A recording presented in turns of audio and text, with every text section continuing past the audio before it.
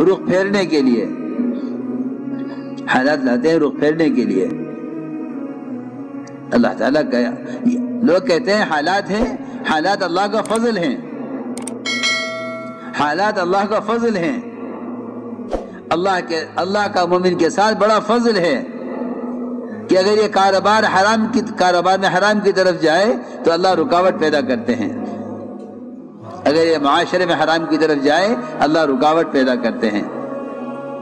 अगर ये हुकूमत में और अहदे में और मनसब में जुल्म की तरफ़ जाए तो अल्लाह रुकावट पैदा करते हैं।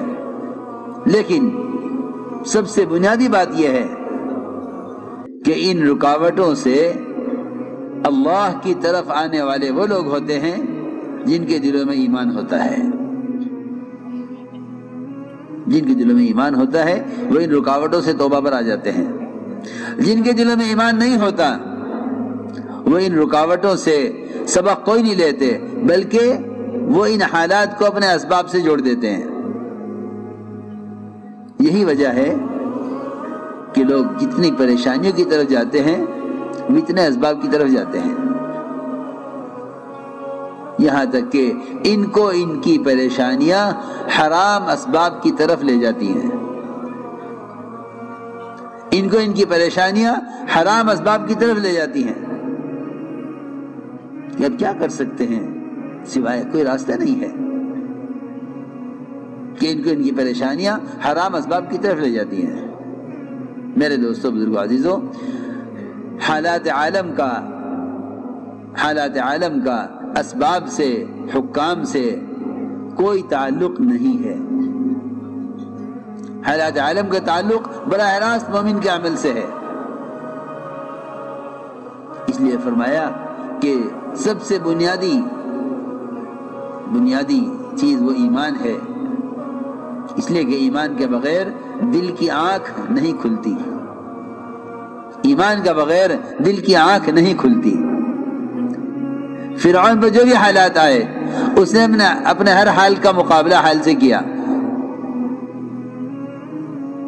हर हाल का मुकाबला हाल से किया। अम्बिया आलिम ने आकर यह समझाया कि तेरे हालात का ताल्लुक तेरे हाल से नहीं है, तेरे हाल का ताल्लुक तेरे अमाल से है। तो ये सबसे बुनियादी बात है कि ईमान के बगैर मोमिन इबरत नहीं ले सकता। ईमान के बगैर मोमिन इबरत नहीं ले सकता इसीलिए फरमाया कि अल्लाह को न जानने वालों पर अल्लाह को न जानने वालों पर जो हालात आते हैं हदीसी मिसाल देकर फरमाया कि उनकी मिसाल उस जानवर की तरह है जिसको खोल दिया जाए और बाँध दिया जाए उसको नहीं मालूम कि क्यों खोला गया क्यों बाँध दिया गया अल्लाह को न मानने वाले, जो अल्लाह को नहीं जानते हैं। उन पर आने वाले हालात की मिसाल, बहुत अच्छी मिसाल दी है हदीस में। उन पर आने वाले हालात की मिसाल ऐसी है जिस जानवर को बाँध दिया जाए और खोल दिया जाए। तो जानवर नहीं जानता कि उसे क्यों बांधा गया, क्यों खोल दिया गया। और आप जानते हैं, आप जानते हैं कि अगर भैंस दूध रोक ले तो उसके बच्चे को खोल कर लाते हैं। वो बच्चा थन मुँह लगा देता है, भैंस दूध छोड़ देती है। और जब वो दूध देने लगती है तो बच्चे को ले जाके बाँध दिया जाता है। इस बच्चे को नहीं खबर कि ये क्यों लाया गया था, क्यों ले जाया गया। ये मिसाल देकर फरमाया, हदीस में, बल्कि फरमाया कि मोमिन की मिसाल और ईमान की मिसाल उस घोड़े की तरह है। जिसका पैर बाँध दिया जाता है खूंटे में और लंबी रस्सी करके उसको छोड़ दिया जाता है सरसब्ज इलाके में, वो उसमें खाता फिरता रहता है। यहाँ तक कि जब उसके पैर को झटका लगता है और रस्सी पूरी होती है, क्योंकि आगे हद है, आगे खेत दूसरे का है, इसको इससे आगे नहीं जाना है।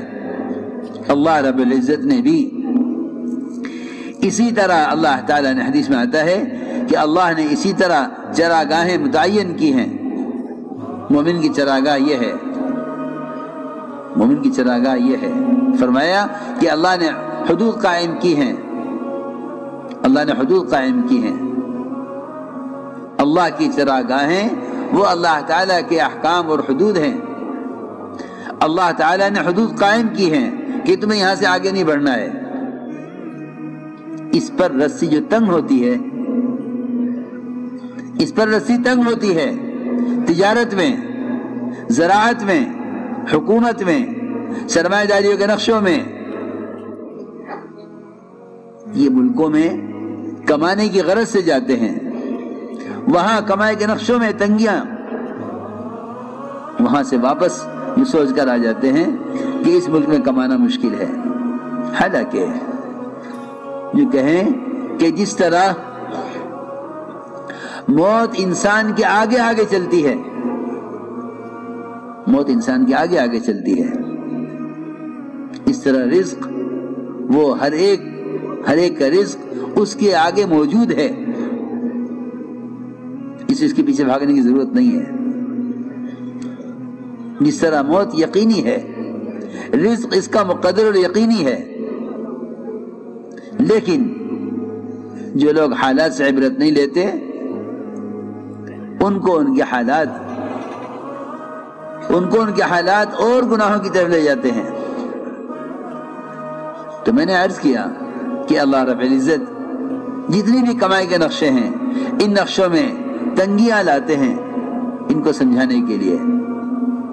इनको समझाने के लिए। तो चुनाची रिवायत में है कि ईमान और मोमिन की मिसाल उस घोड़े की तरह है। जो घोड़ा अपने खूटे से बंधा हुआ हो। जब ये सरसब्ज मैदान में खाता हुआ चलता रहता है तो हर घोड़े का मिजाज ये है कि झटका लगते ही, रस्सी पूरी होते ही ये खूंटे पर वापस आ जाता है। कि अपने खूंटे के पास वापस आ जाए। ये हर घोड़े का मिजाज है। आप देखेंगे कि जब घोड़े के पाँव में की रस्सी पूरी हो जाती है तो वो खूंटे पर वापस आ जाता है। हदीस में ये मिसाल देकर फरमाया, यहूल ही के मैदान में घूमता रहता है, और जब रस्सी पूरी होती है तो पलट कर खूंटे पर आ जाता है।